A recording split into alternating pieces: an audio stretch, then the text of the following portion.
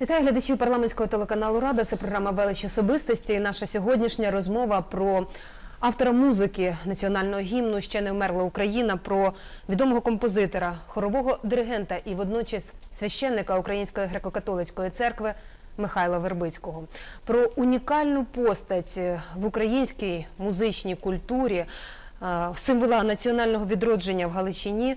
Згадуємо разом з Іриною Фаріон, мовознавцем, кандидатом філологічних наук. Пані Ірино, я вітаю вас Вітаю. в нашій студії. Михайло Вербицький народився 4 березня 1815 року на Надсяні в селі Явірник Руський в родині греко-католицького священика. Згодом став сам священником. Доля розпорядилася так, що вже в дитячому віці він та його молодший брат Володислав втратили батька і по суті залишилися сиротами. Мати, вдруге вийшовши заміж, офіційно відмовляється від батьківських прав. Однак хлопцям пощастило, їх взяв на виховання далекий родич, перемишельський владика Іван Снігурський, один з найяскравіших діячів Української греко-католицької церкви. Він заснував при Перемишельській кафедрі УКГЦ хор, згодом музичну школу. Саме в ній Михайло одержав ґрунтовні знання з теорії музики і композиції чеського музиканта Алої Зенанки. Згодом Вербицький вдосконалює свою музичну освіту приватно у Франца Лоренса, також чеха за національністю. Вербицький згадував, школа стала консерваторією в мініатюрі. Хор дорівнював добрій опері, і здавалося, що в Європі, крім трьох відомих категорій музики німецької, італійської та французької, існує ще четверта категорія українська. Дивовижно. Отже, священник і водночас митець Михайло Вербицький, зачинатель професійної музики в Галичині, став одним із фундаторів Національної композиторської школи України. Такий феномен. Пані Наталю, з величезним трепетом підступаємо до цієї особистості, тому що це 200-літній е, ювілей. Цей рік весь є роком Вербицького, але ми з вами сплачуємо борг перед нашими шановними читачами, що не говорили про нього в березні. Натомість говоримо в квітні, тому що наприкінці квітня у Народному домі ставили його е, п'єсу Підгоряни. Вона мала тоді шалений успіх. Здається, це було 27 квітня. Так от, не вийшовши ще із 200-літнього ювілею Шевченка, ми увійшли у 200-літній ювілей е, Михайла Вербицького. І якщо, скажімо, Тарас Григорович швидше, швидше пробивався до душ і сердець українців, то Михайло Вербицький дуже тривалий час був заблокований. І, напевно, цей світлий і дивовижний чоловік не уявляв собі, що колись е, його музика даватиме крила цілій нації, і ці крила обійматимуть і творитимуть міст між маленькою Галичиною і великою великою Україною. А чому так сталося, що він був заблокований деякий період? Ну тому що цей текст е, вважався націоналістичним. Текст Павла Чу- Чубинського, майже вашого земляка, або ви з Київщини, великого Бориспольця, вихідця із е, Київської громади, е, одного із натхненників українофільського руху другої половини 19 століття, одного із найфундаментальніших дослідників української етнографії Павла Чубинського. І коли цей текст е, Павла Чубинського був опублікований у Львові у 1863 році у журналі Мета, звісно, що він захопив е, львів'ян, але Наталю унікальність ще й полягає в тому, що цей текст був підписаний іменем Тараса Шевченка. Ось як зійшлися три постаті: Чубинський, Тарас Шевченко і Михайло Вербицький. Михай- Ну, музична Шевченкіада розпочалася саме з Вербицького, можна так, Так. вважати? Так, музична Шевченкіана, дуже вам дякую, почалася саме з Михайла Вербицького. І саме Михайло Вербицький написав музику до заповіту Тараса Шевченка. Цей заповіт, пані Наталю, у нас в Галичині називали церковнослов'янським словом завіщання. Саме у такому варіанті можна паралельно тут згадати відоміше слово з іншої мови завіщання є запозичення із церковнослов'янської. Але, пані Наталю, феноменальна ситуація ще й полягає в тому, що коли у 1868 році вперше виконували е, це завіщання на музику Михайла Вербицького у залі міста Львова був також ще один геніальний композитор з великої України. Маєте на увазі Лисенка? Так, маю на увазі Лисенка, який також прийшов у цей фантастичний український світ 22 березня. Стільки, скільки небо дарує українцям геніїв в березні, в квітні і в травні, годі собі уявити, чи не свідчить про те, що це знаки постійного оновлення духу, чи не свідчить це про те, що без духовної енергії матеріальна сила ніколи не матиме здобутків. Так от молодий Лисенко. Слухав музику уже зрілого Вербицького, музику Він, до речі, також виконав, написав музику Так. до заповіту. Саме так, і саме в цей день на цій вечірці чи на цьому концерті звучала і музика Лисенка до заповіту Шевченка. А Лисенко у цей час у Львові був проїздом. Він їхав навчатися до Лейпцига і абсолютно випадково прийшов на цей вечір пам'яті Тараса Цей вечір, Шевченка. по суті, змінив його життя. Так, по суті, змінив його життя, і саме в цей вечір зійшлися дороги двох найвидатніших композиторів України, якщо звісно не брати до уваги до уваги великого Бортнянського, з традиції якого виростав і Вербицький, і, і, і Лисенко. Також ми про Лисенка окремо поговоримо в одній із е, передач. Але ми трошки перескочили відразу на цю е, грандіозну подію Шевченка і Вербицького і Лисенка, як три генії зійшлися в одній точці. Аби зрозуміти, чому Вербицький був е, заблокований, напевно, треба усвідомлювати, яким складним шляхом розвитку йшла Україна. Кажуть, що навіть шлях до його могили заріс свого часу травою, бо е, це село, у якому він е, правив службу Божу і мав парафіян, тепер на території польської держави е, у складі Польщі, і лише з проголошенням Української незалежної держави українці е, могли відвідувати це село Млин, де стільки років проповідував е, Вербицький. До речі, він був священником за покликанням. Він був священником за покликанням, хоча, пані Наталю, його навчання в духовній семінарії, мабуть, би дуже сподобалося сучасним студентам, бо це не був традиційний е, засушено-аскетичний семінарист. Він е, своїм шляхом і ставленням до навчання дуже нагадував ще одного генія. Бо в цій духовній семінарії перетнулися його дороги із неповторним і геніальним Маркіяном Шишкевичем. Дивіться, яка тоді була багата епоха на особистості. А давайте повернемося власне до його навчання. Так. Його двічі виключали з Львівської духовної семінарії через веселі пісні, гру на гітарі і запізнення на ранкові молитви. І не тільки запізнення на ранкові молитви. Ну хто не хоче зранку поспати, пані Наталі? Кажуть, що десь там трошки і тютюн підкурював е, і не хотів вчасно е, повертатися до семінарії там в 6 годині чи в 7. Ну, у Львові стільки кнайп, стільки доброго вина. Він був молодий, красивий, е, привабливий. Тобто дисципліна йому не зовсім подобалася, яка існувала в духовній семінарії. Але все ж таки все одно він Так, обрав собі шлях священника. Ну не було тоді іншого шляху. Це був тиск зовнішніх обставин. Якщо українець хотів рухатися по якійсь ієрархії, то це була єдина ієрархія. Фактично, священичі роди стали династичними в Галичині, і тому не випадково поляки навіть з того знущалися і казали, що тільки попі да хлопі лишилися в Русі, але саме на тому станові попівства виросла потужна українська національна ідея, яка потім стала націоналістичною ідеєю.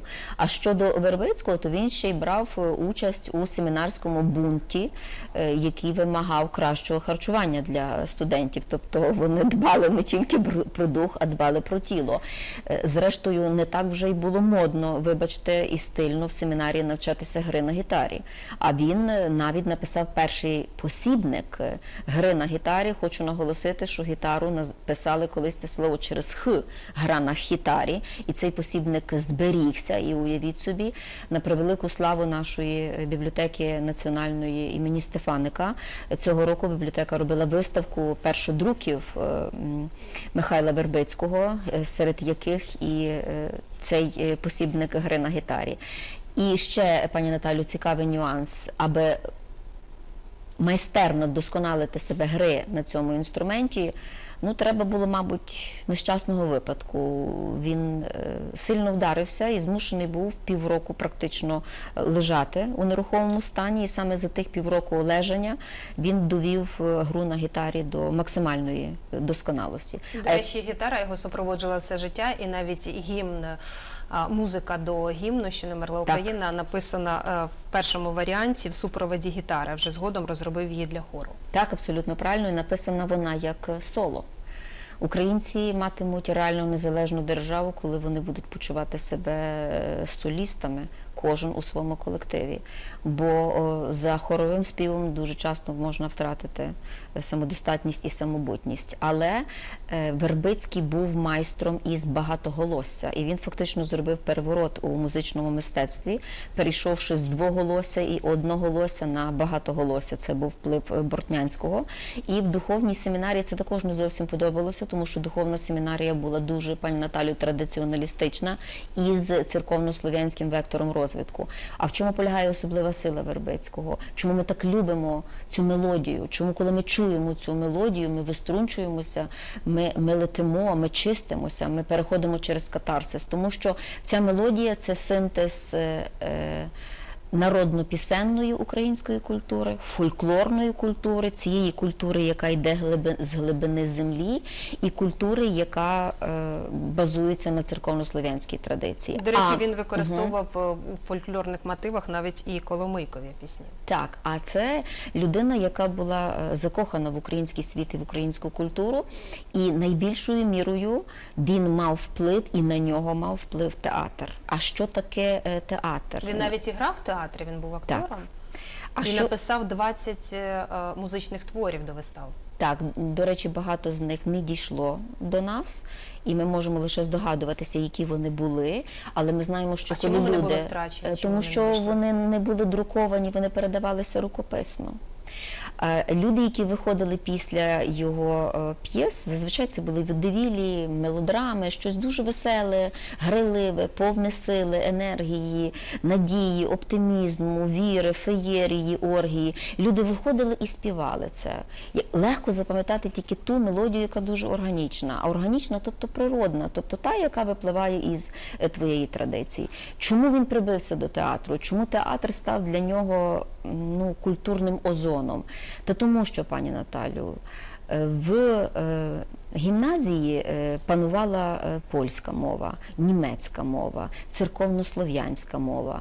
Література на той час в Галичині писалася з жахливенним язичієм. Язичіє це щось там на зразок тепер, типа, коротше, вообще, оцей страшний суржик, який процвітає на кожному місці. Тобто в Галичині язичіє це синтез церковнослов'янського, польського, німецького і народного українського. І тоді це вважалося модою.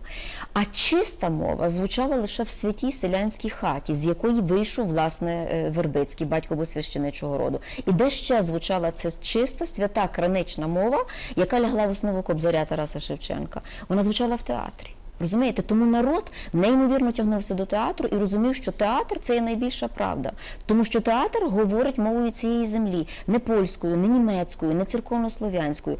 І тому до цього театру так потягнувся Михайло Вербицький. Крім того, пані Наталю, історичні події, які в цей час відбувалися, ми завжди вмонтовані у суспільно-політичний вир. Він також був монтований в цей суспільно-політичний вир. 1848 рік.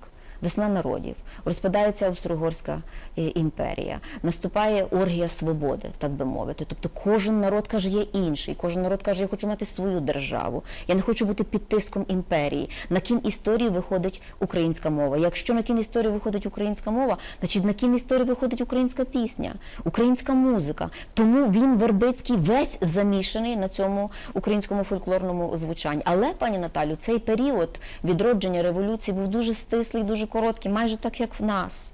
Після революції неминуче, особливо в наших умовах, наступає контрреволюція. Чи це треба нашим людям зараз говорити? Вони це все бачать, що контра повною силою. Наступає контрреволюція. В 1850 році Австрійській імперії вдається знову повернути собі владу, і наступають оці заморозки в українському суспільному е, житті.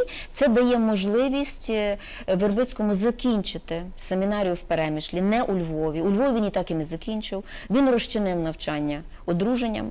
Так, одружився він із Німкенею. Тобто це чоловік, який встигав робити все. І молитися в церкві, і грати на гітарі, і співати веселих гриливих пісень, і кохати красивих неперевершених жінок. На превеликий жаль, дружина дуже швидко відійшла.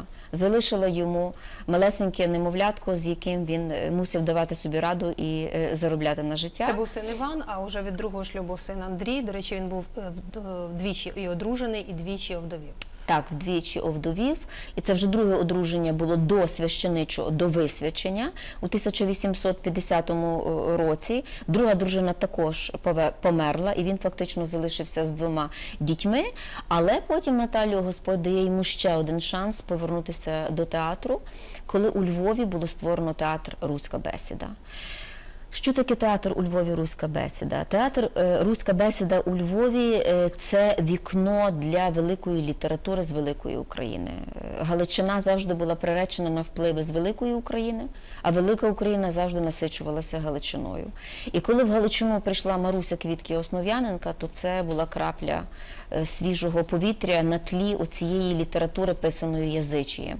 І оцей вир театрального життя знову повернувся Михайло Вербицький, де він написав е, музику до знаменитого тексту Підгіряни чи Подгоряни, як тоді називали. Звісно, що він мав вже на ту пору е, славу е, видатного композитора, але чи він уявляв собі тоді, що його текст ще не вмерла Україна саме з таким формулюванням, а не як ті зміни, які внесені тепер. Я категорично проти, щоб вносити будь-які зміни. Я вважаю це дикунством, варварством, втручатися в текст. Е, Чубинського і пристосовувати його геніальні рядки до сучасного моменту. Нехай ці наші з вами е, славні сучасники спочатку дуже добре вивчать добу Павла Чубинського і зрозуміють, наскільки цей текст є класичний і вічний. Цікаво, що цю патріотичну пісню створив саме церковний композитор. Він уже на той час був священником. Так, він на цей час вже був священником, але цей е, священник, е, який писав музику і до Отче наш, і до інших молитов, і музику до однієї до літургії, яка була дуже популярна в Галичині. Не знаю, чи зараз літургію виконують на, на музику Михайла Вербицького, ніколи тим е, не цікавилася. Проте цей чоловік виростав із класики і виростав із того, що він постійно мав тісні взаємини із композиторами, зокрема е, Чехії і Австрії. І композитори саме з Чехії приїжджали до Перемишля. А Перемишль, пані е, Наталю, на ту пору це друге місто після Львова, яке було центром розвитку української Тому, власне, культури. не випадково, що він зблизив західноукраїнську музику і західноєвропейською. Так. Тобто це синтез е, західноукраїнської музики, ви дуже слушно сказали, української музики, ну і звичайно великої української музики, тому що ми маємо дво, два крила української музики: це Михайло Вербицький і Микола Лисенко. Ну і загалом е, світські церковні пісні Вербицького і люди співали тоді. Під час музичних концертів і вони популярні досі. Ті ж самі молитви, про які ви вже згадували, Алелуя в народі називають козацьким, велично пафосним. Да? Отче наш, е, причасний, е, ко- козацьким Отче наш, е, Так. хваліти Господа з небес, ангел вопіяще, святий Боже. Е, Так, і до речі, вперше славень наш ще не вмерла Україна був е, виконаний в одній із п'єс ще не вмерло Запорожжя. Так воно називалося. Зверніть увагу, ще не вмерло Запорожжя, тобто апелювання до нашої давньої культури. Е, В чому ще полягає сила Вербицького? Не тільки в тому, що він е, писав церковну музику, це божественний композитор, скажімо так.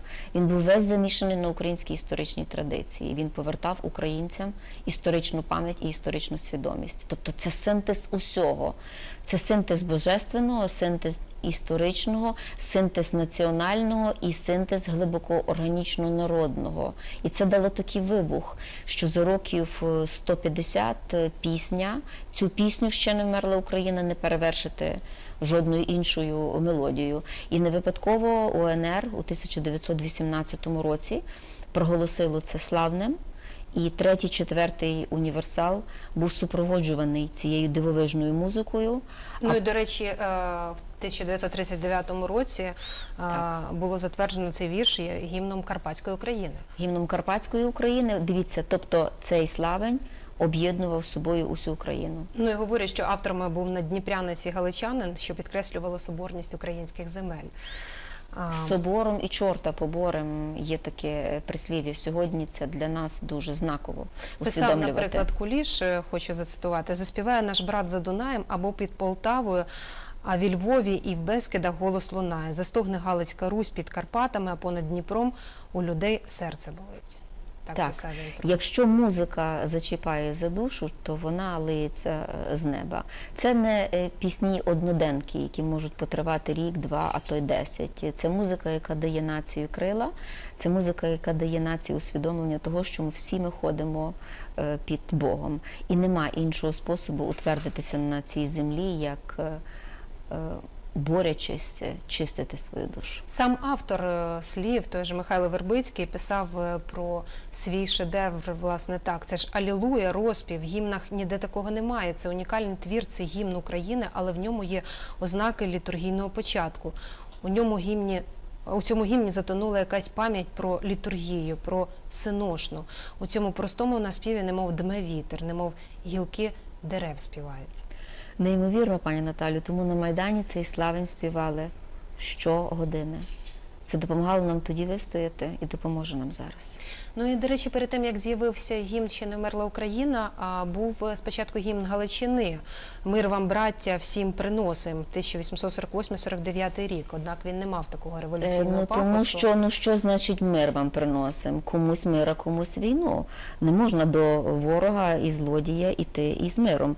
Якщо ми вже говоримо про церковну музику і про Бога, то задаймо Біблію. Я з мечем прийшов у цей світ, а не з миром. Тому молодь категорично не підхопила цього, а підхопила станом браття в бій криваве від сяну до дону. В ріднім краї панувати не дамо е, нікому цей текст поривав до боротьби. Крім того, пані Наталю, у цей період були дуже популярні славні польські, є ще польська не згиніла, і з подібними словами розпочинався сербський славень.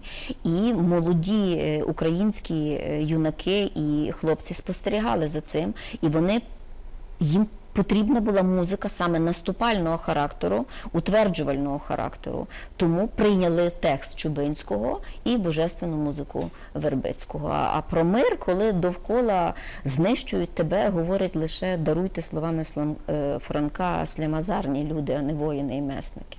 Ну і власне про самого Михайла Вербицького більшу частину життя він все ж таки прожив самотнім, повертаючись до його родин, скромним, навіть е, бідним, бо не вистачало грошей на елементарне на харчування.